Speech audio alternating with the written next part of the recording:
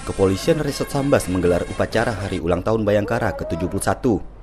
Bertempat di halaman Mapolres Sambas, Senin 10 Juli, upacara ditandai dengan pengucapan tribrata oleh anggota yang ditunjuk. Bertindak sebagai inspektur upacara, Kapolres Sambas Ajun Komisaris Besar Polisi Cahyo Hadi Prabowo.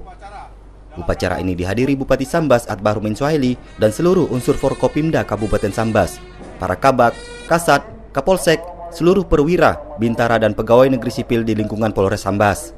Presiden Republik Indonesia Joko Widodo dalam amanat tertulisnya yang dibacakan Kapolres Sambas mengatakan atas nama negara, pemerintah serta secara pribadi menyampaikan ucapan selamat Hari Bayangkara ke-71 kepada seluruh anggota Kepolisian Negara Republik Indonesia.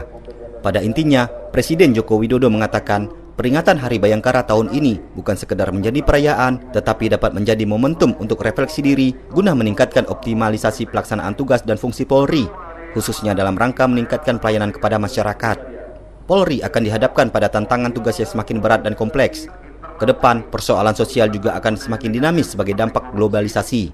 Situasi keamanan dalam negeri akan semakin diwarnai dengan kejahatan konvensional, kejahatan transnasional, kejahatan terhadap kekayaan negara, dan kejahatan yang berimplikasi kontingensi.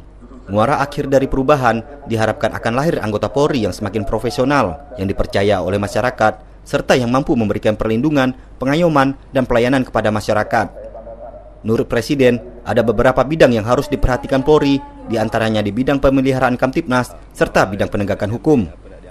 Usai upacara, seluruh peserta dan para undangan menghadiri acara syukuran dalam rangka HUT Bayangkara ke-71 di Aula Dirawijaya Polres Sambas.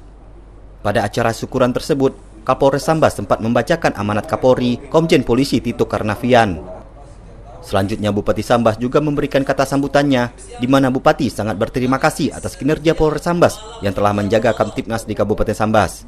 Pada acara syukuran tersebut juga dilakukan pemotongan tumpeng oleh Kapolres Sambas dan istri yang diberikan kepada anggota Polres Sambas usia termuda dan tertua. Kemudian penghargaan juga diberikan kepada anggota Polres Sambas yang berprestasi.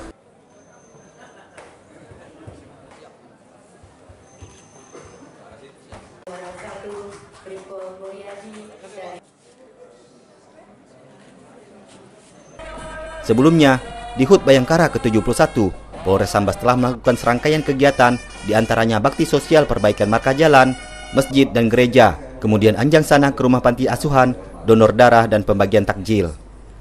Tim Liputan CSM TV mengabarkan.